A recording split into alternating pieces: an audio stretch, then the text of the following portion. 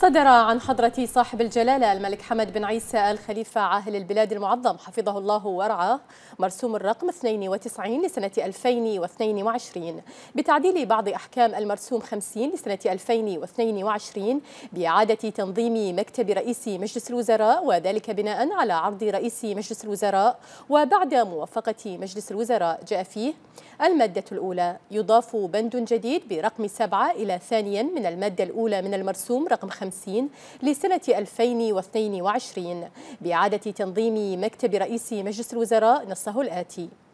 مدير عام مكتب سمو الشيخ محمد بن مبارك آل خليفة الممثل الخاص لجلالة الملك المعظم بدرجة وكيل وزارة ويتبعه ألف المدير التنفيذي للشؤون الإدارية والمالية بدرجة وكيل مساعد باء المدير التنفيذي لمكتب الممثل الخاص بدرجة وكيل مساعد وتتبعه واحد إدارة التنسيق والمتابعة اثنين إدارة المراسم.